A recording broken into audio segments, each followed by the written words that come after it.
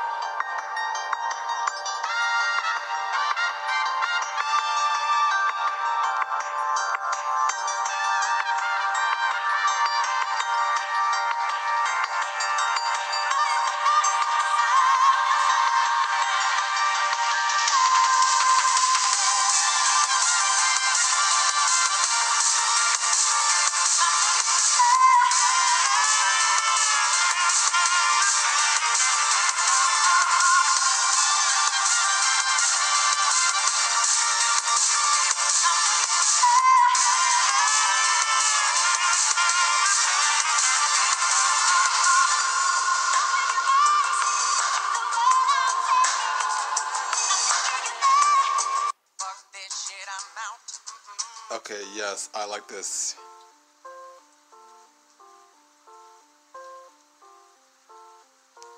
And thank you, Ballii, for inspiring the job for me.